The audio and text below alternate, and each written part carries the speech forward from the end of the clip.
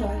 Mă numesc Rosoana, sunt din liceul teoretic Tabani și astăzi vom vorbi despre cel mai mare masacru din istoria lumii, Holocaust.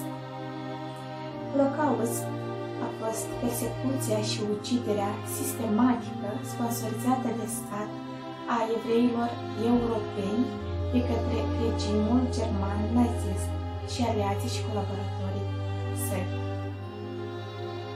Epoca Holocaustului a început în ianuarie 1933, când Adolf Hitler și Partidul Nazist au ajuns la putere în Germania. Sub coordonarea Schutzwelle, cu direcții de la cea mai înaltă conducere a Partidului Nazist, crimele au fost comise chiar în Germania, în toată Europa ocupată și în teritoriile controlate de Iar în 1935, guvernul german adoptă legile Nürnberg, legi prin care evreii erau excluși din societatea civilă. Un alt eveniment s-a desfășurat în perioada 9-10 noiembrie 1938, la 8 luni după ce Germania a anexat Austria. Toate întreprinderile și clădirile evreiești au fost incendiate, jefuite și distruse în toată Germania și Austria, pentru ceea ce a devenit cunoscut ca Noaptea Sticlei Spate.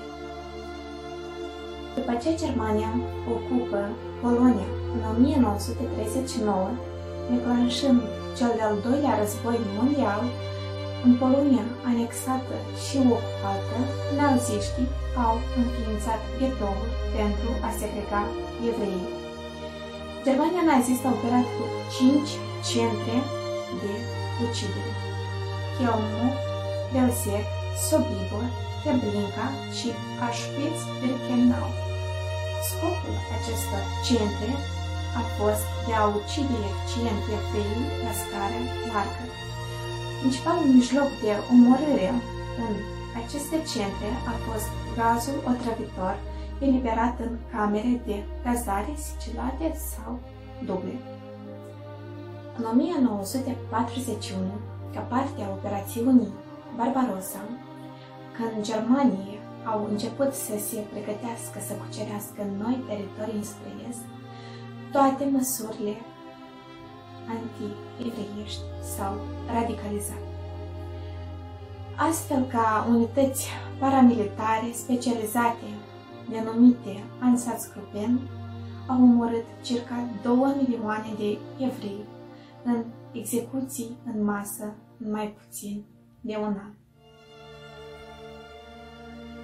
Această radicalizare a culminat cu un plan pe care liderii naziști l-au numit soluția finală la problema evreiască. Soluția finală a fost uciderea în masă organizată și sistematică a evreilor europeni. Ca parte a acesteia au fost comise crime în masă la o scară fără precedent.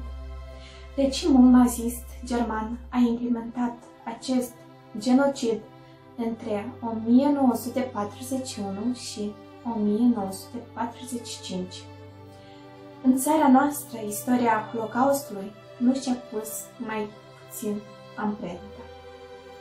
În vara anului 1941, pe teritoriul actual al Republicii Moldova, existau 49 de lagăre de concentrare și ghetouri, iar în regiunea transnistriană 189. Cele mai mari lagăre din Moldova se aflau în satele Pertulgeni cu 23.000 de oameni, în Secureni cu 20.000 de oameni, în Ghetineț cu 13.000 de oameni, dar și în Chișinău. Până în 1940, în satul Pepeni, raionul Sângerei, trăia o comunitate mare de evrei, majoritatea dintre ei fiind comercianți. Pe atunci, Andrei Volpe, fost profesor de istorie la școala din localitate, avea 10 ani. El a împărtășit amintirile despre vara anului 1941, când în satul său au fost uciși evrei, dintre care mulți erau prietenii și colegii săi de clasă. La sfârșitul anului 1941 s-a anunțat oficial că Basarabia este Judenfrei, adică curățată de evrei.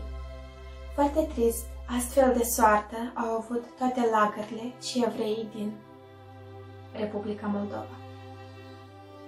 Holocaustul s-a încheiat în mai 1945, când marile puteri aliate au învins Germania nazistă în al doilea război mondial. Pe măsură ce forțele aliate s-au deplasat prin Europa, într-o serie de ofensive, au depășit lagările de concentrare. Acolo i-au eliberat pe prizonieri, supraviețuitori, printre care mulți erau evrei. În final, circa 42.000 de centre de detenție au fost utilizate la concentrarea victimelor și au fost asasinați circa 6 milioane de evrei de toate vârstele. Acest eveniment tragic s-a marcat ca fiind cea mai neagră pagină din istoria lumii, iar 27 ianuarie este ziua care dedicăm comemorării celor pierdut.